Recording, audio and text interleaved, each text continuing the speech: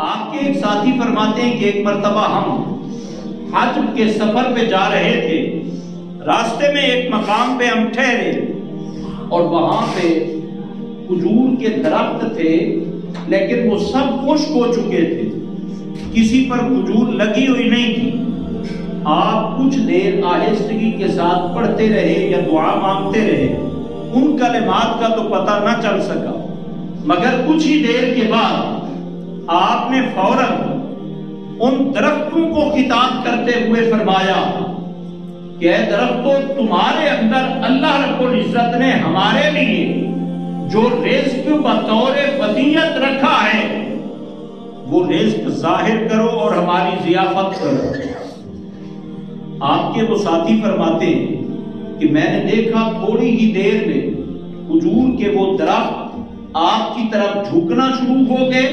और उन खजूरों पर तर फलों के खोशे लगे हुए थे। और वो फकत आपने नहीं खाए, आपने मुझे भी बुलाकर फरमाया कि आओ, बिस्मिल्लाह पढ़ के इन खजूरों को खाना शुरू करो। तो आपके साथ वाले वो साथी रफीक सफ़र कहते हैं कि मैंने वो खजूरें खाई और इतनी आला किस्म की खजूरें थी कि ऐसा मिठास मैंने कभी और खजूरों में नहीं देखा। फरमाते हैं, उस मैदान में एक आराबी एक देहाती, वो भी फिर रहा था। उसने जब आपकी इस कैफियत को देखा कि खुश्क खजूरें झुक कर आपको खजूरें पेश कर रही हैं, उसने कहा भाई मैंने ऐसा जादू कभी नहीं देखा। जब उस देहाती ने जादू कहा तो आपने उस देहाती से फरमाया हम आले रसूल हैं, साहिर और काहिन नहीं है। जादूगर और नजूमी नहीं है। हम रब से तलब करते हैं, रब अपने कर्म से अदा फरमाता है। मगर जो उसका अंदाज था देहाती का। जहालत की वजह से उसका अंदाज गलत था। आप जलाल में आए। आपने फरमाया कि अगर मैं दुआ करूँ तो अल्लाह करीम तेरी शक्ल बदल देगा और तू कुत्ते की शक्ल में बन जाएगा। अगर तू कहे तो मैं दुआ करूँ उसने कहा, कर दो दुआ। हज़रत इमाम जाफ़र सादिक रज़ी अल्लाह ने दुआ की और वो बंदा फ़ौरन कुत्ते की शक्ल में बदल गए। इस बात को इल्म इश्क के इमाम अल्लामा अब्दुल रहमान जामी रहमतुल्लाह अलैह ने नकल फरमाया। फरमाते जब उसकी शक्ल बदली, वो दौड़ता हुआ अपने घर की तरफ़ गया।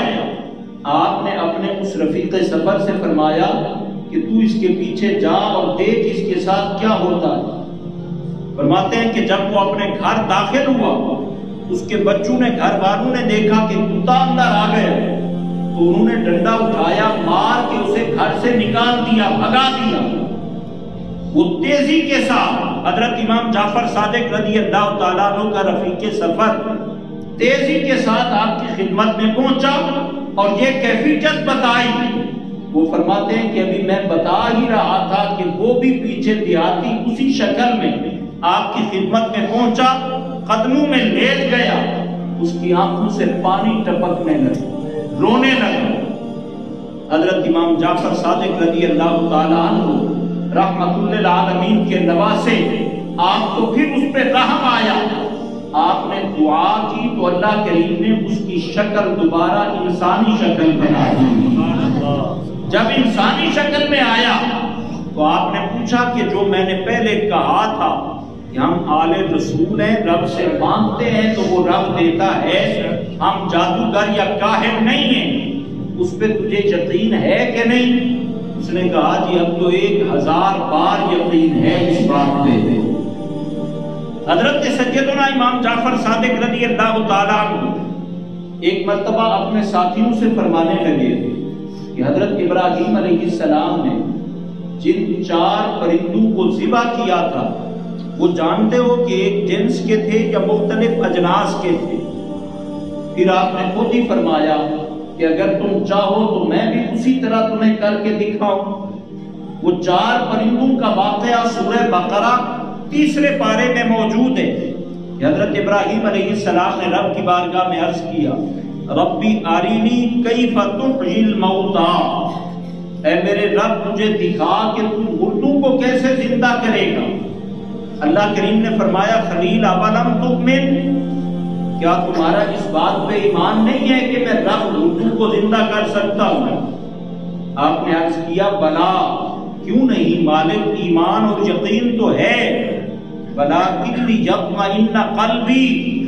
लेकिन अपने कल्बी इत्मीनान के लिए अर्ज़ करता हूँ। अल्लाह करीम ने फरमाया, फखुज अरबाअतम मिनत मेरे खलील, चार परिंदे पकड़, फसुरहुन्ना इलई उन्हें अपनी तरफ़ मारूस कर ले कि तेरे बुलाने पर आ जाए जिस तरह पालतू परिंदा मालिक के पास आता है। फिर उनको जिबा कर, उनके गोश्त का कीमा बना, उस कीमे को आपस में मिक्स कर।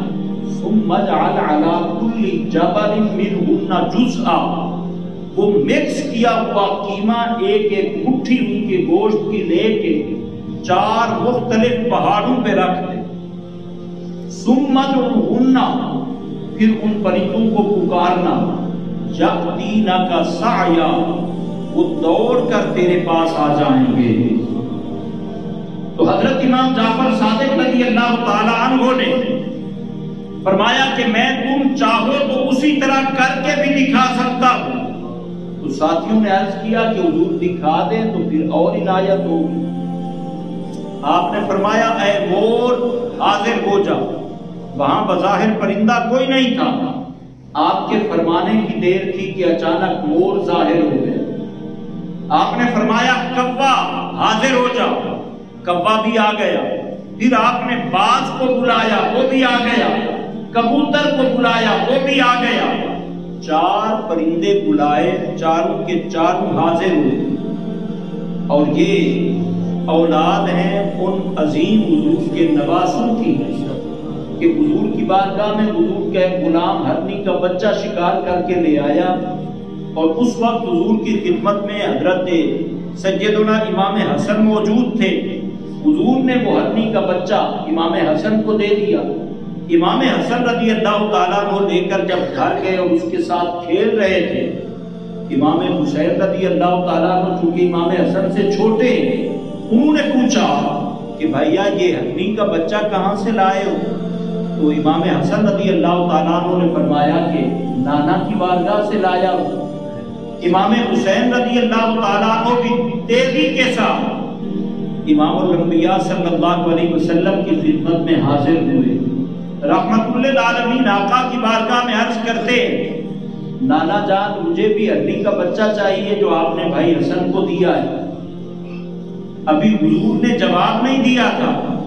और ये दर तो वो दर है जहाँ पे कोई मंगता आ जाए, ना फरमाता है फला अभी किसी मंगते को छिड़कना नहीं जो मांगने वाला आ जाए, उसकी झोली भर के उसे अता फरमाना है। और चरागे गोल्डा पीर सैयद नसीरुद्दीन नसीर रामा फरमाते हैं कि सरकार का दर है, दर शाह तो नहीं। जो मांग लिया मांग लिया, और भी कुछ मांग। और फरमाते हैं कि झोली ही मेरी तंग थी। क्या माँगता उनसे? झोली मेरी भर भर के कहा, और भी कुछ मांग। तो इमाम आली मुकाम रबी अल्लाह ने जब नाना जान से दरखास्त की कि हुजूर मुझे भी वो हरनी का बच्चा चाहिए। तो अल्लाह रब्बुल ने उस हरनी के दिल में ये बात डाली कि एक बच्चा तो तेरा शिकार हो के मेरे हबीब की बारगाह में पहुँचा और उनके नवासे का खिलौना बना। अब दूसरा बच्चा खुद ले जाकर मेरे हबीब की बारगाह में पेश कर देते। तो हरनी खुद अपना बच्चा लेकर इमाम आली मुकाम रबी अल्लाह की खिदमत के लिए हुजूर की बारगाह में दूसरा बच्चा भी पेश करती तो नबी करीम सल्लल्लाहु अलैहि वसल्लम वो बच्चा इमाम हुसैन रबी अल्लाह को अता फरमाते हैं। ये उन शहजादों की औलाद से हज़रत सैयदना इमाम जाफ़र सादिक रज़ी अल्लाह तआला आपने जब उन परिंदों को बुलाया परिंदे हाजिर हो गए। आपने हर एक परिंदे को जिबा किया। उसी तरह उनके गोश्तों का कीमा बनाया, मिक्स किया अलग अलग जगह पर रखा। और मुफसरीन फरमाते हैं कि हज़रत सैदना इब्राहिम सलाम ने इस तरह भी किया कि मोर का सर था तो वो लेकर आपने जब परिंदा बना, मसलन वो बाज था या कब्बा था मोर का सर जब उसके आगे किया तो वो एक तरफ़ पे हो गया, उसके साथ लगा नहीं। तो उन्हीं की इब्तदा में हज़रत सैदुना इमाम जाफ़र सादिक रज़ी अल्लाह ने भी मोर का सर ज़ाहिर किया तो फिर उसके गोश्त को पुकारा। फरमाते जहाँ जहाँ उसकी हड्डी थी, जहाँ जहाँ उसकी बोटी थी, हर हिस्से से उड़ के एक दूसरे के साथ मिल गई मोर का फिर वजूद बना, आपने वो सर आगे किया तो दोबारा वो परिंदा मोर ज़िंदा हो गया। इसी तरह आपने हर परिंदे के साथ किया। हज़रत सैदुल्ला इमाम जाफ़र सादिक रज़ी अल्लाह तु को भी अल्लाह करीम ने ये मकाम मरतबा अता फरमाया और हज़रत सैदुल्ला गौसे आज़म रज़ी अल्लाह तु की करामत भी मशहूर है।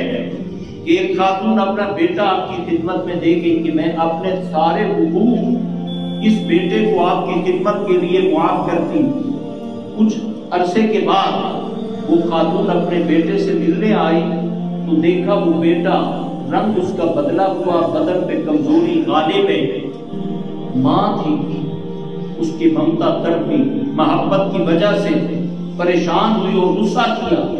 और कहा कि जाकर सरकार गौ से पाक से अर्ज़ करती हूँ, कोई कोई बेटा दे जाए तो उसके साथ ऐसे ही सलूक करते हो।